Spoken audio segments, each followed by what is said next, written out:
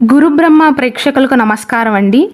ఈ వీడియోలో కర్కాటక రాశిలో జన్మించిన వారికి రెండు వేల ఇరవై నాలుగు సంవత్సరం మార్చ్ ఏప్రిల్ మే ఈ మూడు మాస ఫలితాలు ఎలా ఉన్నాయి? ఏ నెలలు బాగా కలిసి వస్తాయి? ఏ నెలలో ఏ రోజులు జాగ్రత్తగా ఉండాలి అని డేట్ వైజ్ వివరిస్తానండి. ఒకవేళ ఈ వీడియోని మీరు చివరి దాకా చూసినట్లయితే మూడు మాస ఫలితాలను చూసినట్లే. శ్రీ దుర్గాదేవి జ్యోతిష్యాలయం. మీరు ఇప్పుడు వరకు ఎక్కడెక్కడో జ్యోతిష్యం చెప్పించుకుని నిరాశ చెంది ఉన్నారా? అయితే ఒక్కసారి ఈ గురువు గారికి ఫోన్ కాల్ చేసి చూడండి. ప్రేమ పెళ్ళి ఉద్యోగం రాజకీయం విదేశీ ప్రయాణం ధనం నిలకడగా లేకపోవటం భార్యాభర్తల మధ్య గొడవలు ఆస్తి తగాదాలు అప్పుల బాధలు స్త్రీ పురుషుల ఎలాంటి గుప్త సమస్యలకైనా ఎటువంటి సమస్యలకైనా ఒక్క రోజులోనే పరిష్కారం చూపుతారు.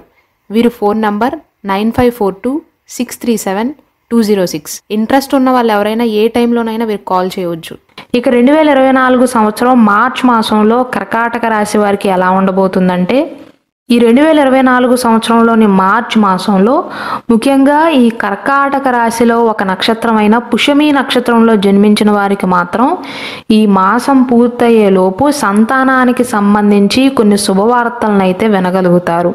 సంతాన ప్రయత్నాలు కనుక చేస్తున్నట్లయితే అంటే పుషమి నక్షత్రంలో జన్మించి రీసెంట్గా మీకు వివాహం అయ్యి సంతాన ప్రయత్నాలు కనుక చేస్తున్నట్లయితే మార్చ్ మాసంలో శుభవార్తలు వినే అవకాశాలు ఉన్నాయి. సంతాన ప్రయత్నాలు మాత్రం ఫలిస్తాయి. ఒకవేళ మీకు వివాహం అయ్యి సంతానం కనుక ఉన్నట్లయితే మీ సంతాన విషయంలో కొన్ని శుభవార్తలను వింటారు. ఆర్థిక స్థిరత్వాన్ని పొందగలుగుతారు. నిరుద్యోగులకి కూడా ఈ మార్చ్ మాసం రెండో వారం లోపు శుభవార్తలు వినే అవకాశాలు ఉన్నాయి.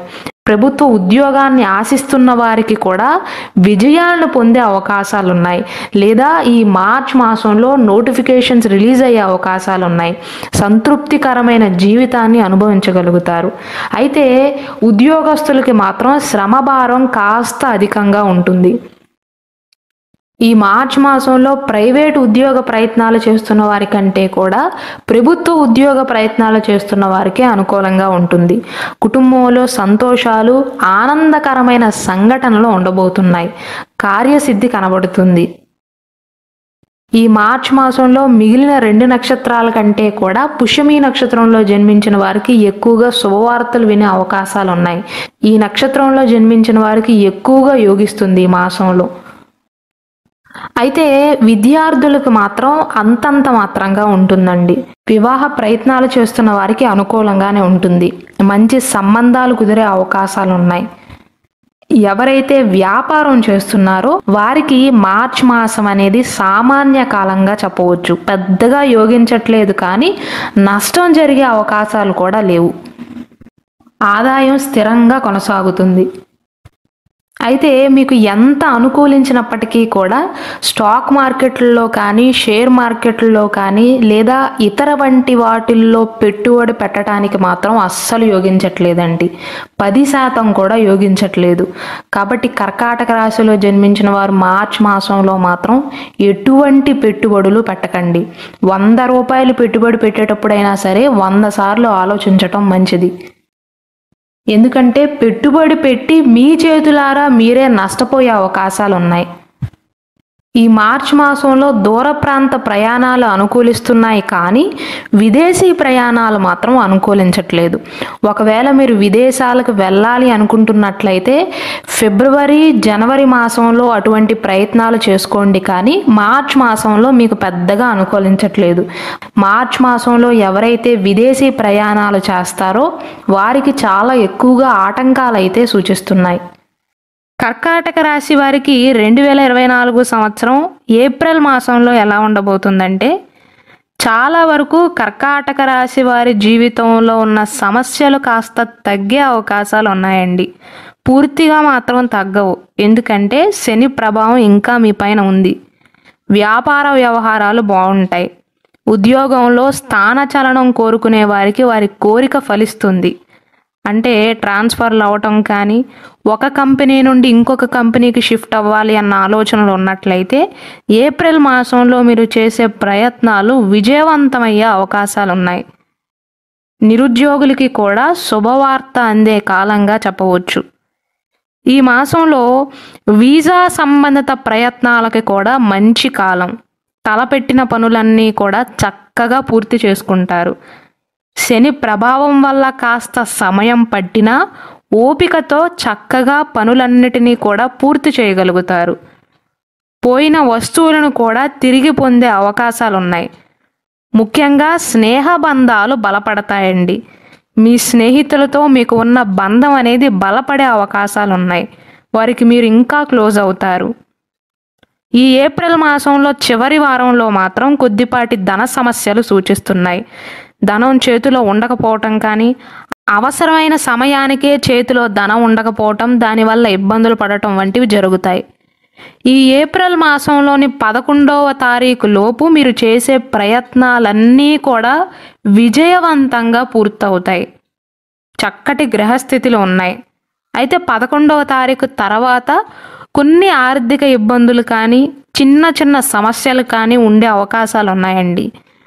ముఖ్యంగా మీకు ఈ మాసంలో ఊరటనిచ్చే విషయం ఏంటంటే ఆరోగ్య సమస్యలు తగ్గే అవకాశాలు ఉన్నాయండి దీర్ఘకాలిక అనారోగ్య సమస్యలతో ఎవరైతే బాధపడుతున్నారో బీపీ కానీ షుగర్ కానీ ఒళ్ళు నొప్పులు కానీ కీళ్ళ నొప్పులు కానీ ఇలాంటి దీర్ఘకాలిక సమస్యలతో ఎవరైతే బాధపడుతున్నారో అటువంటి కర్కాటక రాశి వారికి ప్రాణం కాస్త తేలికగా అనిపిస్తుంది ఏప్రిల్ మాసంలో.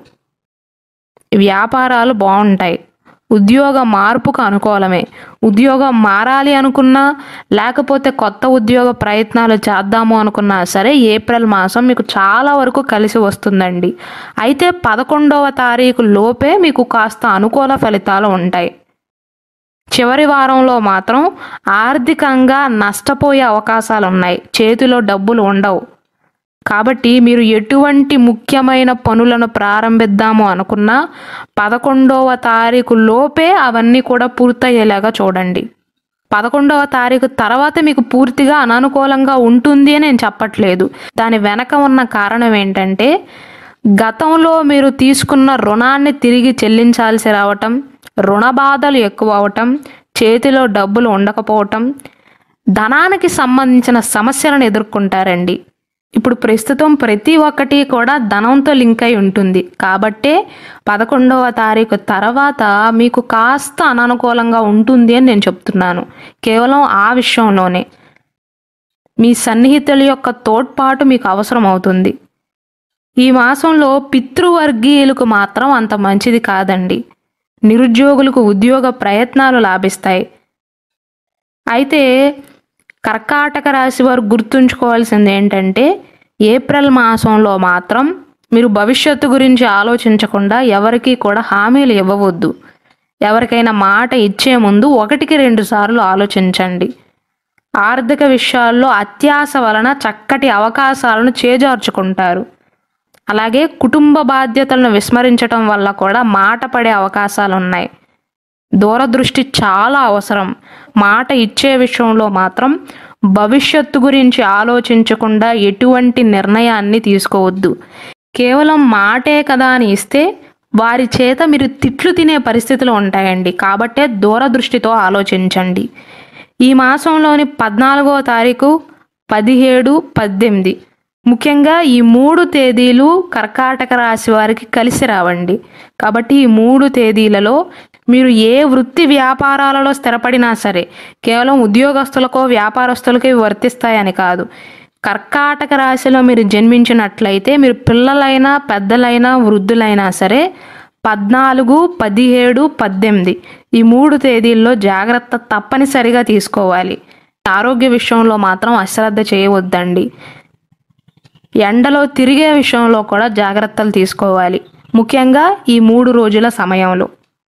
ఇక రెండు వేల ఇరవై నాలుగు సంవత్సరం మే మాసంలో కర్కాటక రాశి వారికి ఎలా ఉండబోతుందంటే మోకాళ్ళకు సంబంధించిన సమస్యలు కానీ కీళ్ళు కాళ్ళకు సంబంధించిన సమస్యలతో ఎవరైతే బాధపడుతున్నారో వారికి సమస్యలు కాస్త అధికమయ్యే అవకాశాలు ఉన్నాయి మొహమాటం వల్ల నష్టపోయే అవకాశాలు ఉన్నాయి తృతీయ వారంలో ముఖ్యమైన స్నేహ వర్గానికి సంబంధించిన దుర్వార్తను వినే సూచనలు ఉన్నాయండి. ఎప్పుడంటే మే మాసంలోని తృతీయ వారంలో అంటే నాలుగో వారంలో చివరి వారంలో. ముఖ్యంగా ఇరవై ఏడవ తారీఖు నుండి ఇరవై తొమ్మిదవ తారీఖు మధ్యకాలంలో. ఈ మధ్యకాలంలో ముఖ్య కార్యక్రమాలను వాయిదా వేసుకోవటం మంచిదండి. ఇరవై ఏడు ఇరవై ఎనిమిది ఇరవై తొమ్మిది ఈ మూడు తేదీలు మీకు కలిసి రావు. ఆలోచనల్లో కూడా విశాల దృక్పథం తార్కికత్వం మాత్రం చాలా అవసరం. లేనిపోని అనుమానాల వల్ల ఎవరిని కూడా దూరం చేసుకోవద్దండి. ఎందుకంటే ఎవరో ఏదో చెప్పారనో ఎవరో చెప్పకపోయినా సరే మీకు మీరే ఊహించుకుని అవసరమైన వారిని అంటే భవిష్యత్తులో మీకు అవసరమయ్యే వ్యక్తులను దూరం చేసుకునే అవకాశాలు ఉన్నాయి అటువంటి సూచనలు అయితే కనపడుతున్నాయి. కాబట్టి కర్కాటక రాశి వారి ఈ మాసంలో ఇతరులను అపార్థం చేసుకునే సూచనలు ఉన్నాయి కాబట్టి మీ కళ్ళతో మీరు చూసింది మీ చెవులతో మీరు విన్నది మాత్రమే నిజమని నమ్మండి తప్ప ఎవరో ఏదో చెప్పారనో లేకపోతే మీ అంతరగా మీరే ఆలోచించుకుని మీ అంతరగా మీరే భ్రమపడి ఎవరిని దూరం చేసుకోవద్దండి. భవిష్యత్తులో ఆ వ్యక్తులే మీకు అవసరం అవుతారు. అలాగే కర్కాటక రాశి వారి మాసంలో సొంత గృహం కానీ స్థలం కానీ ప్లాట్ కానీ ఫ్లాట్ కానీ ఇలాంటివి కొనే ప్రయత్నాలు చేస్తున్నట్లయితే అనుకూలమేనండి. మే మాసం మీకు అనుకూలం ఎలాంటివి కొనటానికి. అయితే ఈ కర్కాటక రాశి వారికి పెద్దవాళ్ళు అయితే కాళ్ళకు సంబంధించిన సమస్యలు చిన్నవారైతే మూత్ర సంబంధించిన సమస్యలతో బాధపడతారండి. అంటే మూత్రం వెళ్ళేటప్పుడు మంట పుట్టడం కానీ వేడి చేయటం కానీ యూరినరీ ట్రాక్ ఇన్ఫెక్షన్ రావటం కానీ ఇలాంటివి జరిగే అవకాశాలు ఉన్నాయండి ద్వితీయ వారంలో వాహన చోదన విషయంలో జాగ్రత్తలు అవసరం. ప్రేమ వ్యవహారాలలో కానీ లేదా వ్యక్తిగత జీవితంలో కూడా మీకు స్పష్టత లభిస్తుంది. అంటే ఎవరేంటి అన్నది మీకు అర్థమవుతుంది. అయితే కొన్ని అనుమానాల వల్లే కొంతమందిని దూరం చేసుకుంటారండి. ఆ అనుమానాన్నే తగ్గించుకోండి. కార్యదక్షత స్వీయ నిగ్రహం చాలా అవసరం. ఎందుకు ఇలా పదే పదే చెప్తున్నాను అంటే మే మాసంలో కర్కాటక రాశి వారు గ్రహ ప్రభావం వల్ల అశ్రద్ధ వల్ల కొన్ని నష్టాలను ఎదుర్కోవాల్సి వస్తుంది. ఈ మాసంలో అతి ధైర్యం మాత్రం పనికిరాదండి. అతి విశ్వాసం కూడా పనికిరాదు. నేను పట్టుకున్న కుందేలుకు మూడే కాళ్ళు అన్నట్లుగా ప్రవర్తిస్తారు. మే మాసం అయిన తర్వాత మిమ్మల్ని మీరే ఒక్కసారి ప్రశ్నించుకోండి. మే మాసంలో మీరు ఎలా ప్రవర్తించారు? భాతృవర్గానికి మీ సహాయం అవసరం అవుతుంది తృతీయ చతుర్థ వారాలలో ఉద్యోగస్తులకు ప్రశంసలు కానీ లేదా ఉద్యోగ స్థిరత్వం లభించే అవకాశాలు ఉన్నాయి. అంటే కాంట్రాక్ట్ ఉద్యోగస్తుల యొక్క పొజిషన్ పర్మనెంట్ అవటం కానీ ఇలాంటి మంచి సూచనలు కనపడుతున్నాయండి. మే మాసంలోని తృతీయ చతుర్థ వారాలలో అంటే మూడు నాలుగు వారాలలో చివరి రెండు వారాల సమయంలో మొత్తం మీద మీరు గమనించినట్లయితే మే మాసంలో యాభై అనుకూలం యాభై ప్రతికూలం సూచిస్తున్నాయండి. కొన్ని విషయాల్లోనేమో అనుకూలత సూచిస్తుంది. అంటే స్థలం కొనుగోలు చేసే విషయంలో గృహం కొనుగోలు చేసే విషయంలో ఉద్యోగ వ్యాపారాల విషయంలో కొన్ని విషయాలలోనేమో ప్రతికూల పరిస్థితులు సూచిస్తున్నాయి.